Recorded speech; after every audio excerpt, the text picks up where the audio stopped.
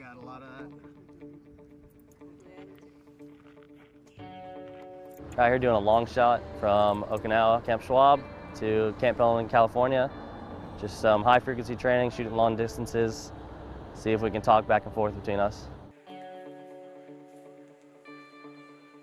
For high frequency, you're gonna get that around the world capability if need be, uh, limited to terrain or uh, weather limitations, ionospheric uh, weather conditions, and uh, gives you more of a boost for uh, scenarios where you might not have SATCOM or be on line of sight.